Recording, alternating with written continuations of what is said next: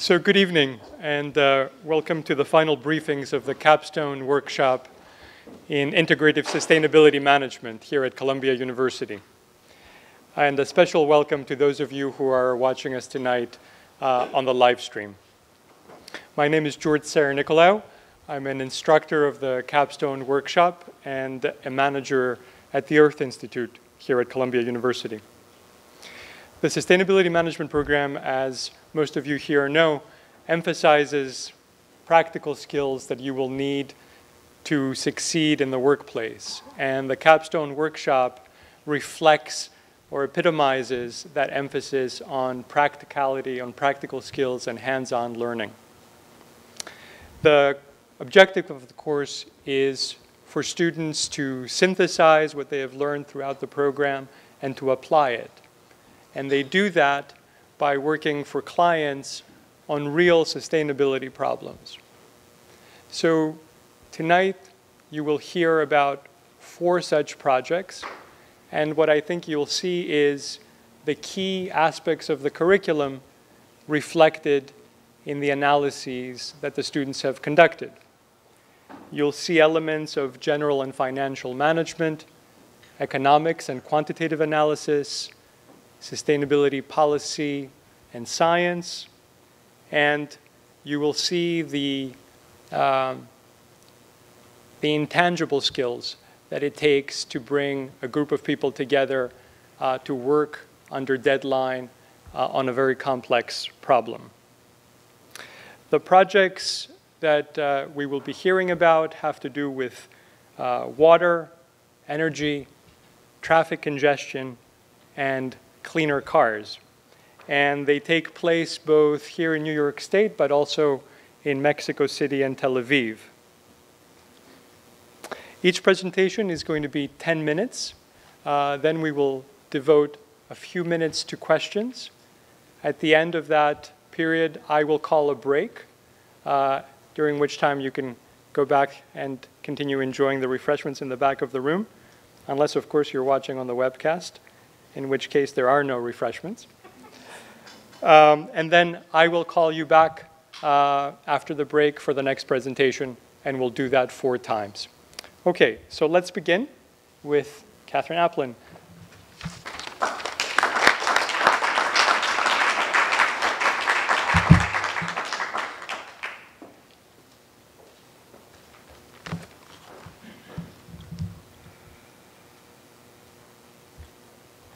Evening. My name is Catherine Applin. On the behalf of my fellow classmates and our faculty advisor, Lynnette Widder, I would like to welcome you to the final briefing for our capstone work, conducted in partnership with Isla Urbana. We are excited to share with you this project on the sustainability benefits of rainwater harvesting and to, to explain how our research led us to a series of recommendations that can help our client optimize its operations as it moves forward. The structure of tonight's presentation will first cover the context of Mexico City and our client, followed by the introduction of our vision and the timeline of our growth plan. Mexico City is plagued by a series of water-related issues, such as aquifer depletion, flooding, subsidence, the high energy cost of water provision, as well as aging infrastructure. Nearly 12% of the Mexico City households are not even connected to the central water grid, which means that they must rely on water delivery trucks called pipas, which are expensive, inefficient, and carbon intensive. Our client, Isla Urbana, is a young and ambitious organization. Founded in 2009, their mission is to ensure a future with access to clean water by implementing rainwater harvesting systems in low-income communities across Mexico. They contribute a bottom-up solution to complement large-scale governmental projects, providing families with water independence and security. Through the installation of household rainwater harvesting systems, they play an important role in improving conditions around the ongoing water crisis in Mexico City. Thus far, ISLA has been concentrated on making a positive impact at the individual and community level. They have also worked hard to expose rainwater harvesting as a viable option to mitigate water access issues and they have succeeded. Rainwater harvesting is now on the agenda of the Mexico City government. With 2,800 systems installed, their efforts have improved the lives of thousands of people. But our research shows that they are capable of reaching an even greater potential. In order to quantify this potential, we ran a series of water budget models for the city. Our research showed that if Isla were able to install systems in the equivalent of 50% of the homes not connected to the central water grid, it would reduce the aquifer drawdown rate by almost 2%, as well as satisfy 8% of the citywide water demand during the rainy season. But at its current capacity, it would take Isla 157 years to reach this goal. With this in mind, we knew that Isla must grow. And here's where our vision comes into play. To optimize the functioning of Isla Urbana through a series of management and funding interventions, which will spur growth measured by an increased installation capacity and a diversified client base, and allow Isla to unlock the aggregated benefits of sustain the aggregated sustainability benefits of rainwater harvesting. The challenges Isla faces can be separated into two categories. Those that deal with the organization itself, such as a lack of business experience, a cumbersome organizational structure, and the need for additional capacity throughout. And those that deal with funding, as Isla is almost exclusively dependent on the government for its projects. These challenges translate into a rate of installations of only 18 systems per week. In order to grow Isla and thus achieve the potential sustainability benefits of rainwater harvesting, we have put together a set of tools for the short, medium, and long term. This is a snapshot of our timeline for Isla's growth from now until 2030. Each strategy that we have provided builds on the one before creating momentum and removing barriers as the organization charges forward. This allows an increased installation capacity per week, which is represented by the number within each cistern. In the short term, our recommendations are oriented towards organizational improvements that will allow operations to run at their optimum level. We have provided a variety of tools to standardize ISLA's current pilot program within the delegation of Tlalpan. We first ran a CBA and a GHG analysis to gather relevant data for the argument of expanding Isla within Tlalpan. Our CBA showed that installing systems in 50% of the homes in Tlalpan would provide a $36 million net present benefit to the government over the next 30 years, as opposed to continuing the Pipa water truck delivery system that is currently in place. The GHG analysis showed that PIPAs operating within the delegation account for 1.5% of total large truck emissions within the city. These data points help ISLA to make their case not just for a social impact, but for an economic and environmental impact as well.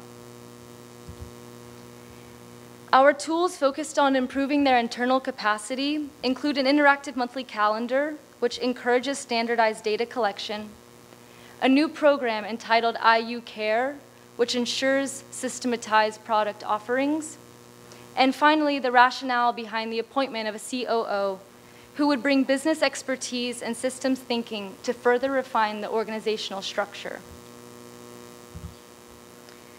Up until this point, Isla Urbana has received the vast majority of its funding through governmental projects, which have provided great opportunity and access when granted, but often arrive with difficult timing and budget constraints. We believe it is essential for ISLA to explore other funding options that will insulate its business in the case of changes of governmental leadership that may be less receptive to rainwater harvesting. Our medium-term goals focus on diversifying ISLA's funding sources and then spreading operations outside of the delegation of Tlalpan into the southwestern portion of Mexico City the area with the highest annual rainfall. In order for ISLA to be attractive to other types of funding, they must first increase their transparency and accountability, which we suggest should be done through an annual financial report. We have also provided an analysis on green mortgages and microfinancing, which will allow them to pursue projects outside of the government and thus lower their reliance on the city and increase their stability. To assist in their geographic expansion to other rainy areas of the city, we recommend the introduction of bespoke products, which will increase their brand recognition and their potential for revenue. The tools that we have provided in the short and the medium term will position Isla in a strategic way to fully take advantage of the opportunities that we have identified. And the long-term portion of our plan focuses on the challenge of meeting Isla's mission of providing rainwater for all. Our long-term deliverables include a group of profiles, which explore a variety of actors from international organizations to impact funds. This data will help ISLA to communicate effectively with a diverse group of possible partners. A roadmap lays out a plan for financial sustainability, and a kit on media expansion will help to make rainwater harvesting technology understood and accepted. If ISLA follows our plan, we believe that aggressive growth is possible. It will move them from the linear growth they are now experiencing to exponential growth by year 2025. This graph shows a visual representation of what that might look like. With the help of the managerial tools and the recommendations that we have laid out for growth and diversification, we offer Isla Urbana an opportunity to realize economic sustainability and to quantify its offer of contributing to the environmental sustainability of the water system in Mexico City. With a significant acceleration in systems installed, ISLA will be better positioned to build the conversation about, around a new people-centered alternative infrastructure for water collection and use. And all along, as it has wanted since its founding, Isla Urbana will continue to make a positive impact on the lives of those that call Mexico City home. Lluvia para todos. Thank you.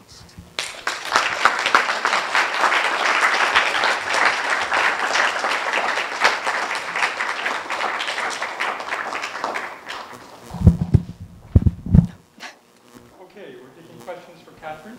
Uh, if you do have a question, please wait for the mic.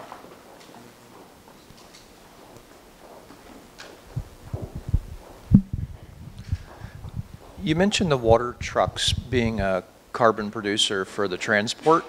Are those government water trucks or are those private sector trucks delivering water? Um, they're private sector trucks, but the government pays for the water to be delivered to the areas that do not have access to the central water grid. And so they're actually really inefficient because they can only fill up once and then provide water to one family and then have to go back to the filling station before they can fill up again and then provide water to another family.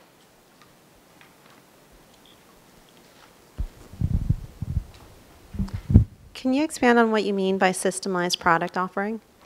Uh, yes, so currently Isla is a bit disorganized. And so when they provide a system, they're not always providing all of the things that they could be, which is um, a, a, filter that could be changed or um, documentation on how they may, the family may use the system properly. And so our idea is that it's really important for them to have a packet that goes to every family exactly as it should be. And so we've done some research for them on, on what that should include. Great presentation, thank you. Can you talk a little bit more about the rainy season? You mentioned it a couple of times and how that impacted your both your um, greenhouse gas assumptions and your aquifer drawdown. I'm assuming there is if there is a rainy season when it's not raining, the water will have to get to them in some other way. So what your assumptions were behind that? So the aquifer drawdown rate is taken, um, if I'm correct, not in the rainy season, so in the dry season. But um, depending on the size of the cistern and the number of members in the family, it, it depends on how long the, um, the family is able to use the water. Some, some families are able to use it for an entire year without ever needing other water, whereas other families uh, can only use it for six to nine months. So one of the things that's important for us to translate to ISLA is that that's data that they really need to be capturing because they don't have it uh, for all of the families. So we only had a rough snapshot and we used that as our data. Okay, great job. So uh, now we go from uh, Mexico City to a small town in upstate New York. And uh, Mary Foster is our next presenter. Please welcome her.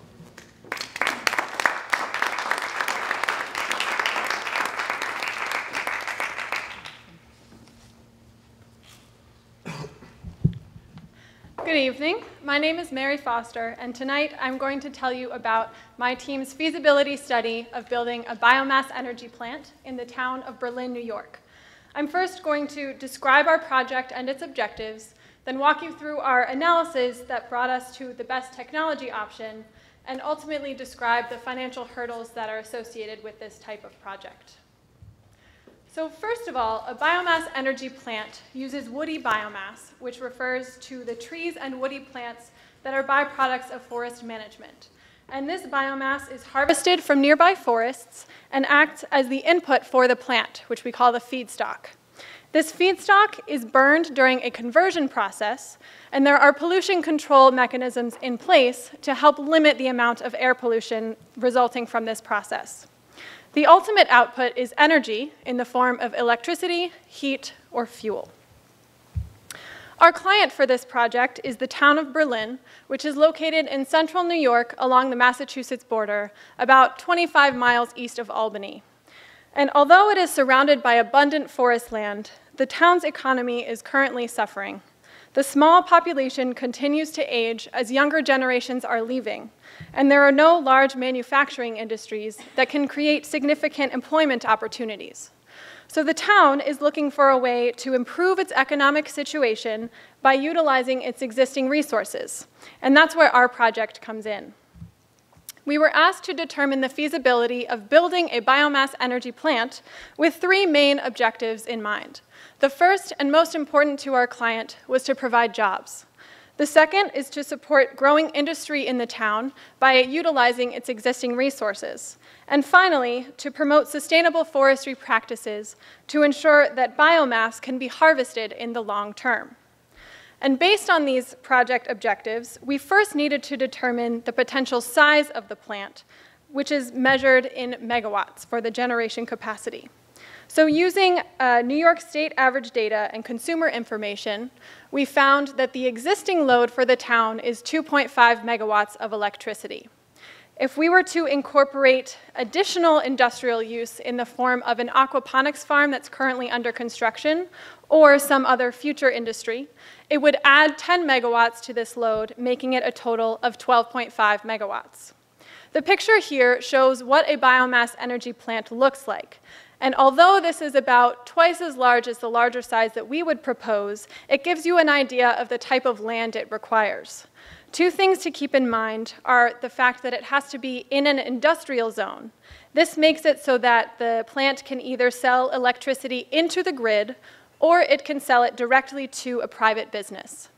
Another consideration is to understand the feedstock delivery route to avoid the residential area as much as possible. Once we were able to determine the potential size and location of the plant, we needed to ensure that the biomass resource was indeed abundant enough to support this project. The procurement process involves three major players. The loggers physically remove the biomass from the forest with permission from the landowners, and this process is based on contracts with the timber management companies. In terms of how much there is available, we found that within a 50 mile and 100 mile radius surrounding Berlin, the removal rate is lower than the growth rate, which means that it is a sustainable harvesting rate at this point. And so the forest resources would not necessarily be a barrier to this plant, but there is one sustainability issue that could pose a problem to future government aid. And that issue is carbon neutrality. There has been a heated debate over whether or not biomass energy plants can be considered carbon neutral. And the definition of carbon neutral is that carbon released from burning the biomass is then captured by photosynthesis of the trees that are regrowing to replace those that are burned. And scientifically, there is less evidence that it would be carbon neutral, a Manomet Center of Conservation Science study stated that if you burn an acre of forest, it releases 15 tons of carbon dioxide emissions, and a standing acre of trees would take 60 years to sequester that much carbon. Most of the support for calling biomass energy plants carbon neutral comes from the political sector. So based on this evidence and this debate that we found, our team believes that the local biomass can be considered a renewable resource, but not necessarily a carbon neutral process with the plant. And this issue of carbon neutrality was important to us to address throughout our project, including our overall analysis, which is what I'm going to walk you through now. The biomass plant itself has different options for the conversion technology. Combustion, combined heating and power, gasification, co-firing, and biofuels. We were able to eliminate co-firing early on because it requires a coal plant to already be in place, which is not the case for Berlin. We also chose to pursue the larger plant size because it provides more jobs and allows for more growth, which is something the town very much wants. And since none of the other technologies had any major weaknesses at that point, we looked at other factors to understand which technology would be the best for the town. Shown here is a simplified version of our qualitative ranking system. We looked at four major categories, environmental impacts, social impacts, policy incentives, and infrastructure. And within these, there are multiple factors. Shown here are the average, um, average scores for each technology within the different categories, red being the worst, yellow being the middle, and green being the best. Ultimately, we decided that the 12.5 megawatt combined heat and power, or CHP, plant would make the most sense based on our ranking system. So we use this to inform our quantitative analysis to understand the economic impact and financial feasibility of the plant. For our economic impact analysis, we used an input-output model from the National Renewable Energy Lab, which utilizes data from a large database. And we use this to understand the potential economic impact of the plant for both directly and indirectly and how it would impact the town. Some of the major takeaways from this analysis were, first of all, the incredibly large plant cost. It would cost almost $70.9 million to build this plant, which is a significant cost for this town. However, it would provide significant economic benefits for the town, $12.1 million during construction and $4.9 million annually. It also would create a significant amount of jobs, which is important to the town as well. Uh, during the construction period, it would create a total of 84, and uh, permanent jobs, there would be 15 at the plant itself, and the rest, the 19, would be felt throughout the town. So although this economic impact is somewhat beneficial, we found some difficulty when we looked at the financial analysis. So shown here is a simplified version of our overall financial analysis. On the y-axis, we have the price of electricity in cents per kilowatt hour, and on the x-axis, it shows the annual subsidies in millions of dollars. And the left point on the graph shows the estimated maximum attainable subsidy level for this plant, which we estimated to be $2.7 million based on case study research of similar types of plants. And at that level of subsidies, we found that our plant would have to charge 10 cents per kilowatt hour for its electricity. And this would provide a positive net present value, which means that the projected earnings are expected to exceed the capital investment. However, residents are currently only paying 6.5 cents per kilowatt hour, which is the point on the right, which means that in order to sell the electricity at that price, the plant would have to receive over $6 million in annual subsidies. So based on this, we found that the 12.5 megawatt CHP plant is not currently feasible under the market conditions because there's no precedent for receiving the amount of subsidies needed for the electricity price to be lower. To give you an idea of what's happening in the area, there's a plant in Lyonsdale, New York that's almost twice the size but it could only receive approval for $4 million in annual subsidies in order to keep the plant from shutting down. So if the town were to want to pursue building this biomass energy plant, they will have to wait for electricity prices to be higher. If they do choose to follow this project, we would suggest two things. First of all, looking at the policy incentives available. There are a lot of specific criteria in the different policies that we encountered, so it's important for them to speak directly with the agencies to understand which works best for this plant. And second, to identify potential investors. Because the capital cost is so high, the town does not have enough money to put into this project. So we would look for someone to help sponsor this project. So we hope that Berlin is able to take these suggestions into consideration to help support their town in the future. Thank you.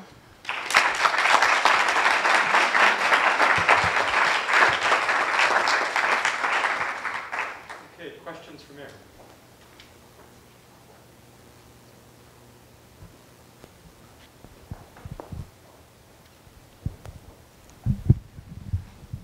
Thanks for the presentation. Did you account for the impact that the population might create on the energy production if they were to start, you know, uptaking with solar panels, for instance? So we didn't incorporate solar panels as much into our analysis um, because our focus was figuring out how much that they could use from this specific plant. There are some examples of towns nearby that do have large solar projects, so we think that that could be somewhere that the town could go in the future to help um, solve their um, problem in terms of trying to find more electricity, but they do already um, supply their town with sufficient electricity. Thank you. That was a really good presentation. Um, I wondered about the timeline on your cost-benefit analysis and whether looking at it perhaps through the lens of longer payback rates, given the benefit to the town, is something that would change your calculations. So the payback rate was, I believe, 15 years, which is the life of the, the um, equipment. So it couldn't really go that much further out than what we an- analyzed. We tried to sort of fiddle with the model to try to make it as beneficial as possible. Um, But unfortunately, at this point in time, it's, it's difficult market for the, for the plant. You very much. Thank you.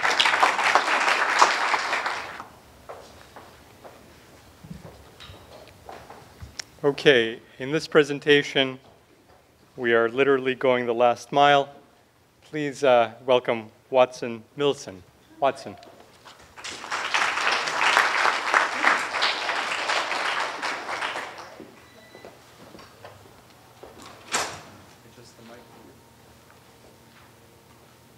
If I just tap that, it's not gonna like right click or anything. Good evening, everyone. My name is Watson Millison, and I, on behalf of my team, am here to discuss best practices of sustainable freight delivery to recommend to the Strategic Planning Unit for the Municipality of Tel Aviv, Israel. Here's tonight's agenda. I'll start by going over our project background, the methodology, We'll dive into our recommendations, and then I'll conclude with next steps.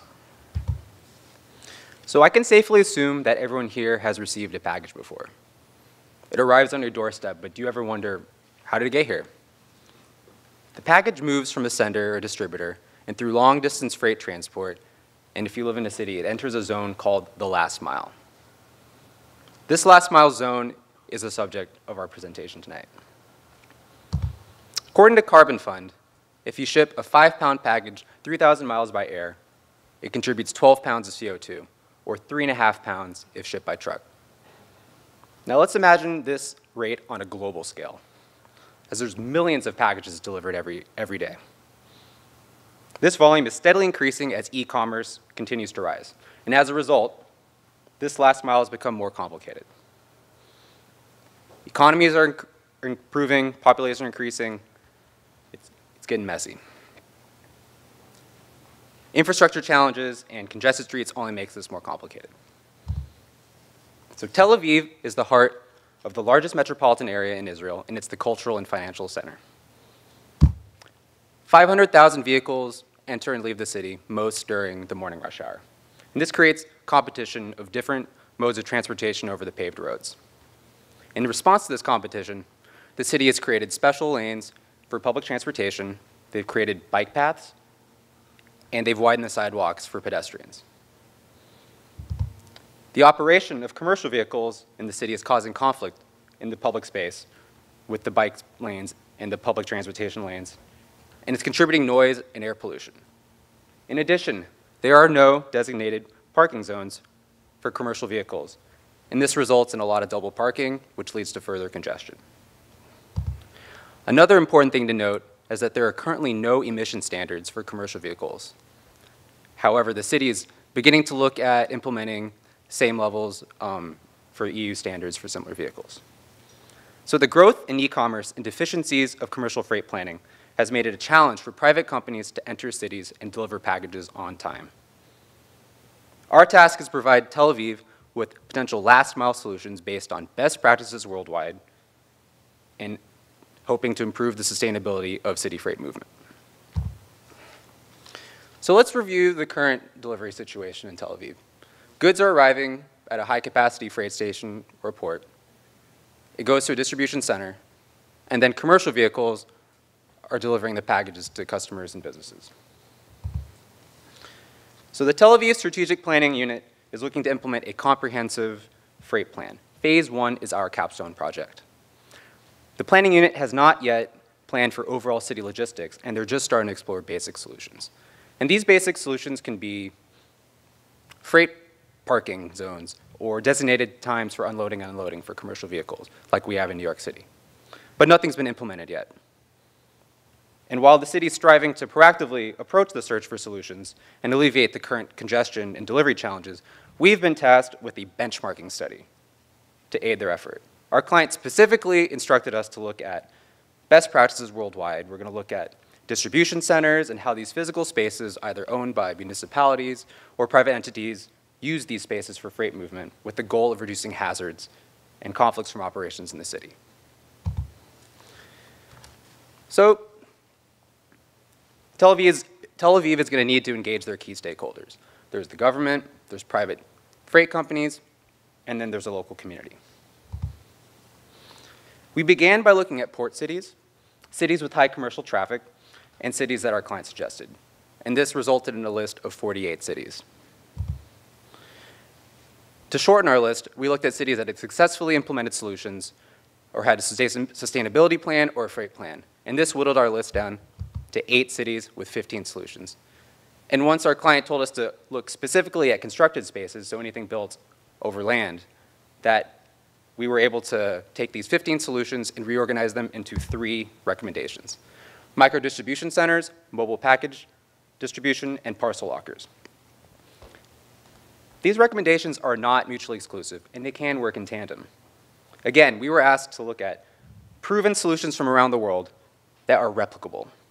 We looked at what other cities have done through the perspective of what Tel Aviv can learn from these successes. So the first recommendation we're going to look at are mobile distribution centers.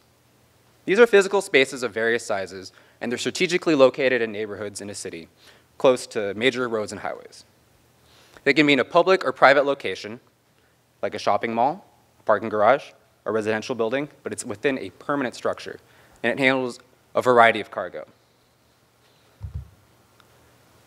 Let's talk about Beaugrenelle in Paris. This is a shopping complex just south of the Eiffel Tower and just off the Seine. They converted two levels of an existing parking garage and turned it into a micro distribution center. This was a partnership between a logistics company, Sogaris, Chronopost, a freight company, and the city of Paris, who contributed 500,000 euros for initial development. As you can see, this solution covers one arrondissement in Paris and two suburbs. There's a 38 reduction um, in total mileage and a 70% reduction in carbon gas emissions. In, in addition to these environmental gains, it's a much safer process because you're not loading and unloading in the street. And it's much more efficient because you're able to load these, these vehicles much more effectively. Second recommendation is mobile package distribution. Think of this as a pop-up mobile package distribution platform. It's a two-part system. There's the hub, and then there's the cargo cycle or the electric bike that carries out the last mile delivery. This can be used for customer pickup, or it can carry out further deliveries.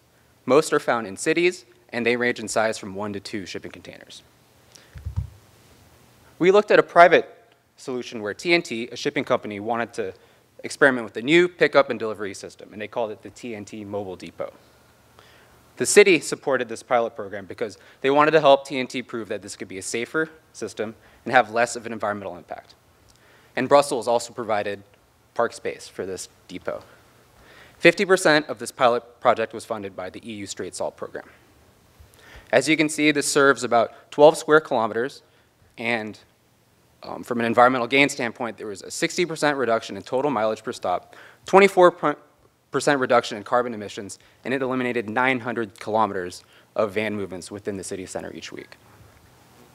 Great thing about this kind of depot is that it truly is mobile. If one location doesn't work, you could always take it somewhere else.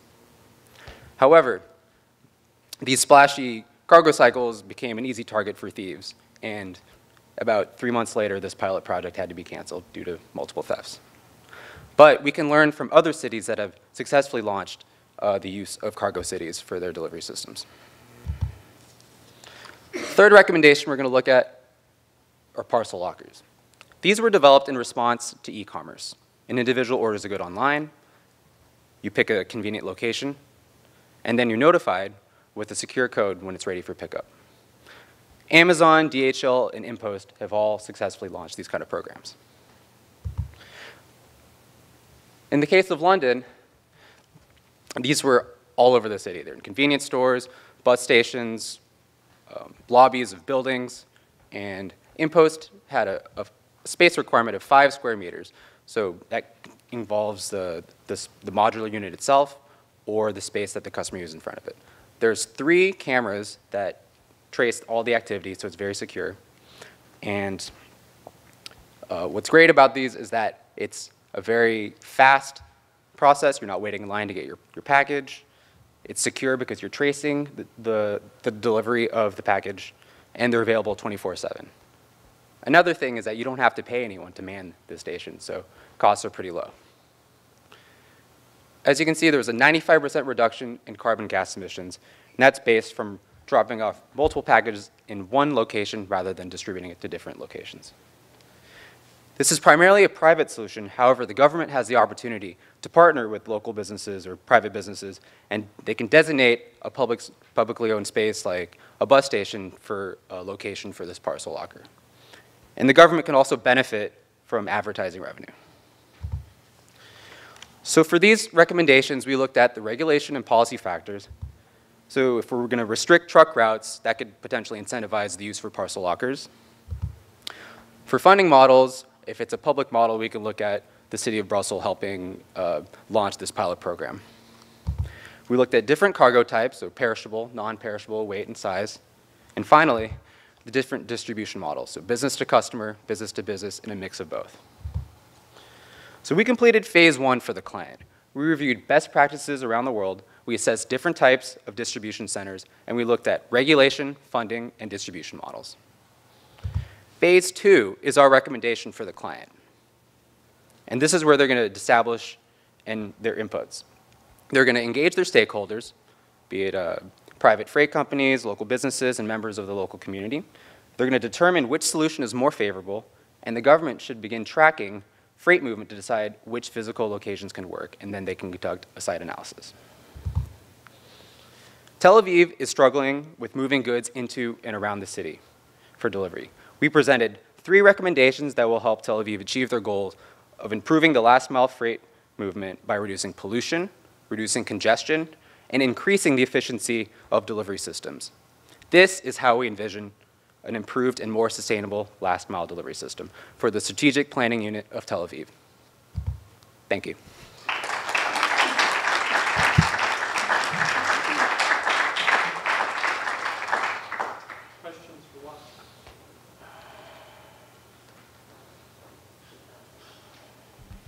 When you're describing parcel lockers, um, you mentioned 95% carbon um, carbon gas reduction.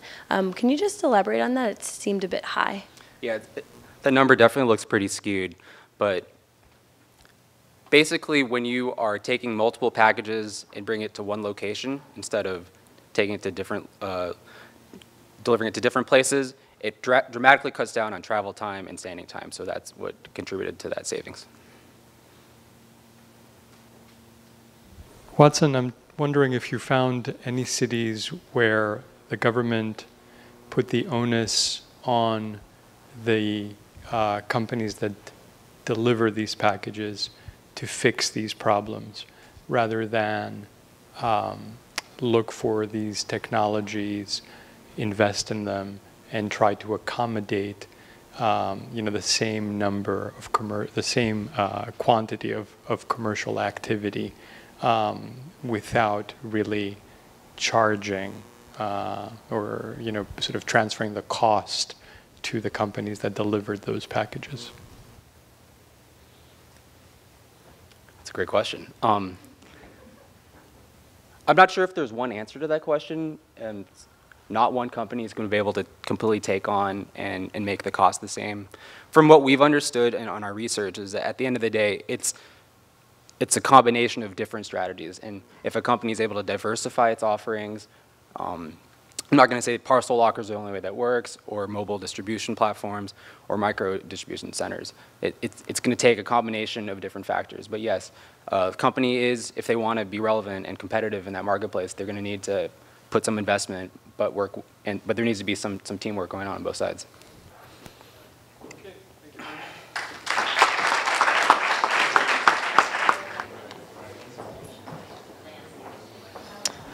Okay, for our final presentation of the evening, we will hear about a New York State initiative to increase the number of uh, clean cars on the road. Please welcome Kalina Gravina.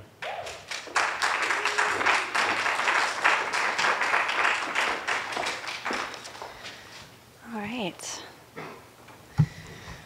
Welcome to our capstone presentation. Uh, my name is Kalina Gravina, and I will be presenting on behalf of my team. And our project was to um, look at whether New York State agencies could use a green revolving fund to accelerate their fleet's adoptions of electric vehicles.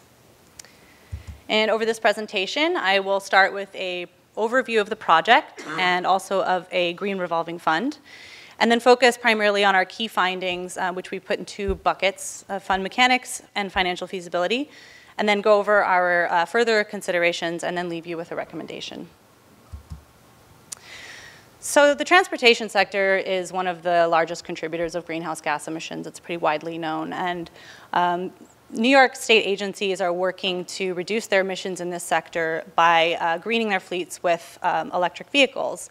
And um, some New York state agencies are um, participating in a mandate that commits them to making their 25% uh, of their new vehicle purchases alternative fuel vehicles by 2025. And we're going to use the term alternative fuel vehicles throughout this presentation to describe uh, different types of electric vehicles. So those could be hybrids, plug-in hybrids, uh, or electric vehicles.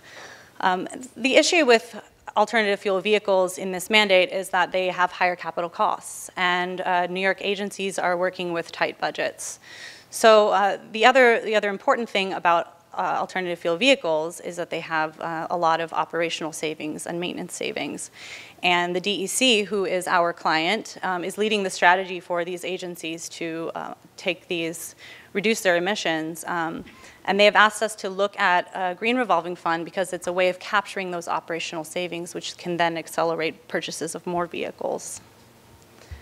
So we're going to go over what a green revolving fund is. Uh, it's typically managed by a centrally by a budgeting agency. Um, and it requires an initial amount of funding, uh, which is also called seed funding, to begin the procurement process. And the DEC has already initiated this step. They've looked into, um, uh, they've uh, secured, a, or sorry, they haven't secured it. They, they have identified $1 million of potential seed funding. And the second part of this process is that that fund would then be lended to the agencies who would use the money to cover the incremental costs between alternative fuel vehicles and conventional vehicles, which can range anywhere from about 2,000 to $13,000.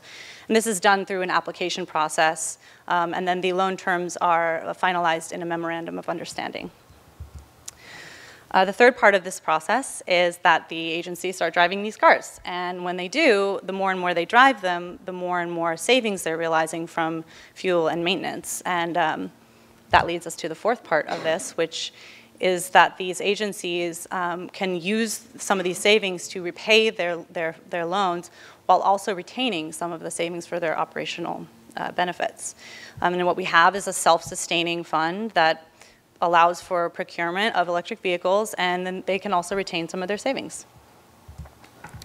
And green revolving funds are an established practice, especially in energy efficiency projects, but they're not widely used in electric vehicle purchasing. And so our client, the DEC, has asked us to really focus on uh, the feasibility and, and issues uh, surrounding green revolving funds and public fleet purchases and to avoid uh, some of the uncertainty around charging infrastructure and other things like that with such a nascent industry. So now we're going to talk about our key findings, and the first thing we're going to talk about is the fund mechanics. We did a survey of 23 green revolving funds uh, focused both in electric vehicles and also in um, efficiency projects. And uh, we outlined our key findings in uh, more in-depth case studies uh, of the most relevant funds that we had discovered. And these are our key findings that we came with from our research. Um, looking at the Harvard Green Loan Fund and also at the Texas LoanSTAR Revolving Fund, it became really apparent to us how important tracking and reporting is for various reasons, but um, most importantly that it demonstrates the success of the fund. And um, in, in this case, it allowed for additional capital deposits to be put back into the fund. Um, another uh, important uh, piece of um, uh, information that we got from these case studies were uh, by looking at specifically the Oregon Fund, which was for electric vehicles um, and hadn't been able to distribute any funding yet. And that was mostly because there wasn't a strong agency outreach plan and these incentives and loan terms were just not clearly communicated. Uh, and then the last point that we want to make in this portion of our, our, research is that most of the funds that we looked at, a majority of them, used interest rates. And interest rates um, provide a, a, lot of benefits, um, including uh, more money being put back into the fund and also uh, protecting the fund from inflation. So now we're going to look at how this would look for New York State agencies using a green revolving fund. And we made a uh, financial model uh, we used information from the DEC, we used research, and then we also used a set of assumptions, which we just want to call out here. Uh, we extracted $100,000 from the seed fund to use for administration needs, and that left us with an actual investment amount of $900,000. We also use an uh, annual mileage estimate of 24,000 miles per vehicle based on the DEC's information, and a payback period of eight years, which is the life of the car. Um, we also computed this model over four different vehicle types, and we used the Nissan Leaf as the EV, the Chevy Volt as the plug-in, the Ford Fusion as the hybrid, and the Chevy Impala as our non-EV traditional car. So with these four different types of vehicles, uh, we modeled them in three major buckets, and uh, looking at the graph on the left, uh, the, the first two graphs on the left, you can see that all electric vehicles, which is the purple um, line, has the most significant reductions in greenhouse gas emissions and annual operating costs. However, looking at the capital cost graph on the far right, you'll see that they're still significantly more expensive than the other types of vehicles. And so our next part of this process was seeing how these different vehicle types um, play out over time using a $1 million seed fund with a green revolving fund structure. Um, and looking at the amount of vehicles that we would be able to be, we would be able to purchase with our green revolving fund model, you can see that in fact there is an increase in the amount of vehicles that we could purchase with a green revolving fund. Um, and also that hybrids are, we could purchase a lot more hybrids than the other types of electric vehicles. Um, and that's mainly because of that very low capital cost that uh, hybrids have. Then we introduced a third scenario to our model, which was to add an interest. And what we found there was that we could uh, increase the amount of hybrid vehicles by almost 200 using an interest rate. Uh, it wasn't as feasible for the other two um, because they are much more expensive and the repayments would be harder for the agencies to handle. However, we then added how uh, this 1700 number, which is the amount of vehicles that would need to be purchased in order to reach the 25% by 2025 goal. And you can see that even with interest, we're not reaching, we're not getting close to that mandate goal. So uh, this is an issue with seed funding. Uh, we don't have enough seed funding to reach that goal. So our main findings for the financial feasibility portion of our research is that, yes, a green revolving fund could result in more purchases than a one-time fund, um, which that would be a fund that you would use uh, to to um, pay for the difference in costs instead of having a, a, eight years of purchasing with a revolving fund. Um, and that more so more vehicles could be purchased with a revolving fund, especially with hybrid vehicles, and that the actual aggregate um, reductions, because we've purchased so many hybrids, are a lot higher than uh, the other types of vehicles, even though they provide uh, a lot of um, a much more significant reduction in GHG by by vehicle. Um, and then also we could allow an interest rate on, on hybrid vehicles, which would mean that we could make this fund revolve faster. And then our second key finding was that we would need to seek additional funding uh, in order for to reach that 25% goal by 2025, and that could either be through seed funding or ca future capital deposits. So now we're going to look at some of the external impacts, and the first one is fuel cost. We did a sensitivity analysis of a 20-year high and a 20-year low, and found that uh, the all-electric vehicles and hybrid vehicles uh, sorry, all electric vehicles and plug-in vehicles uh, would in fact be uh, affected if the fuel cost was to go below $2. However, hybrids are not at risk and the savings would be retained at most fuel prices. Um, and also, we believe that making an investment in technology provides for more long-term stability than the volatile commodities market. And then the second, the second external factor that we looked at was the changing vehicle cost. And um, the fact that batteries are, battery costs are falling so rapidly, um, and batteries make about a third of the cost of an electric vehicle, has um, a lot of um, uh, a lot of analysts are looking at this, like Bloomberg New Energy Finance, who projected that uh, they, that electric vehicles would reach parity with conventional vehicles in less than 10 years without a subsidy. And that's significant because public fleets couldn't access those tax incentives. So uh, we think this is a good time to implement a fund like this. And our uh, major recommendations, our final recommendations, are that uh, the DEC should pursue a green revolving fund um, and focus on hybrids and use an interest rate. Um, that also additional funding should be um, considered to achieve, achieve the state's goal and that the DEC can use our best practices that we outlined in our case studies, um, but also to focus on these three here, tracking and reporting, agency outreach strategy, and having clear loan terms and incentives. Thank you very much.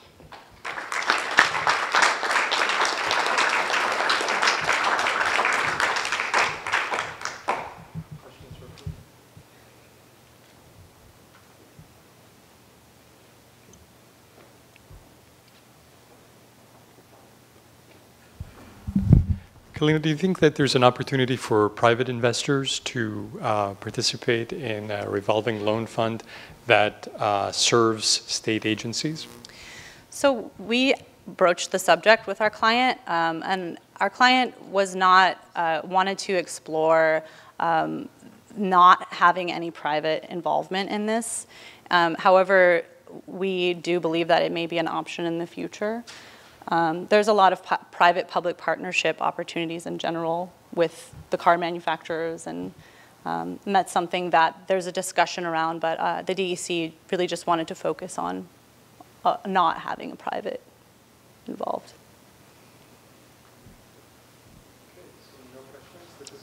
All right.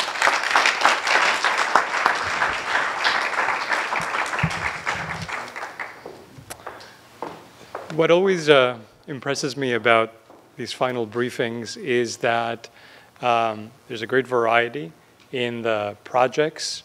Uh, there's a variety in among the clients that uh, the students serve and in the places where these projects uh, take place.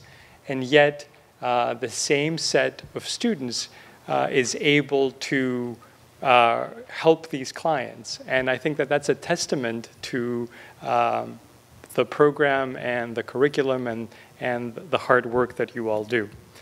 Um, all four groups did an excellent job tonight, and so the first thing we have to do is uh, give ourselves another round of applause.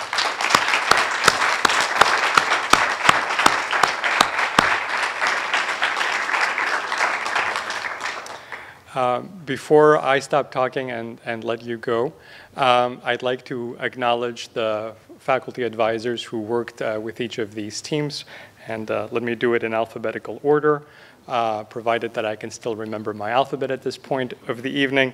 So um, Thomas Abdallah, Suzanne DeRoche, Kizzy Charles Guzman, and Lynnette Widder.